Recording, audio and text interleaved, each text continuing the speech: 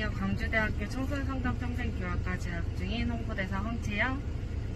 행무서비스학과에 재학 중인 고은입니다. 안녕. 원장님, 저희 오늘 어디 가나요? 네, 오늘 진흥고를 가고 있는데요. 진흥고 뭐가 유명하죠? 진흥고는 야구가 유명하다고 합니다. 네, 광주하면 야구. 야구하면 진흥고? 그러면 우리. 진흥고로 가봅시다. 고고싱! 학생들에게 나눠줄 아이스크림을 가지러 왔어요. 채영 언니가 지금쯤 받아왔을 거예요.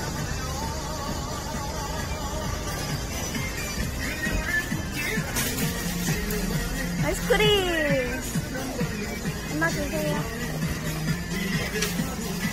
아, 시원해. 아이스크림이 이렇게 정제져 있답니다. 혼잣말이에요.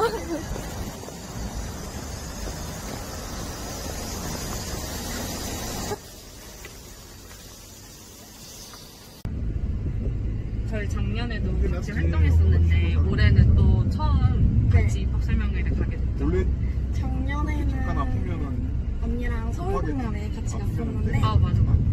어, 올해는 된다. 진흥고가 처음이에요. 작년에도 딱 한 번? 한번 갔어요. 휴가를 해야 사실 간다. 이번 연도에 입시 전형이 별로 없어가지고 같이 함께하지 못한 단원들이 되게 많은데요. 원래 원래 슬퍼요. 그 지금은 맞아요. 전 너무 도전만 아쉬워요. 동거잖아요. 다 같이 함께하고 싶은데 박람회도 여러 개 취소되고 그러니까 긍정 할게 없네요. 원래 학생보다 한 버날이다. 한 2주밖에 안 남았는데.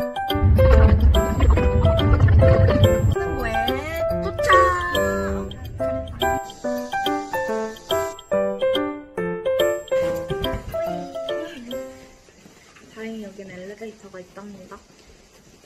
정말 다행이야.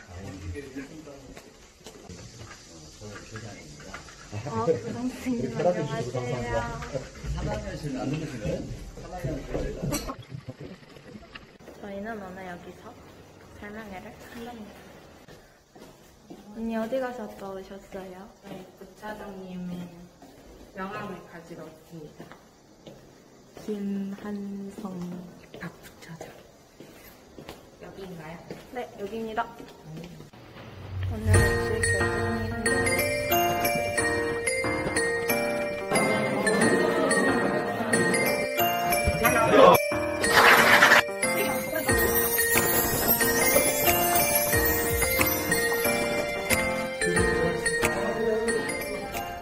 거의 끝났어요.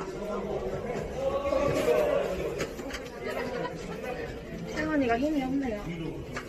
약간 조심히 갔다 와.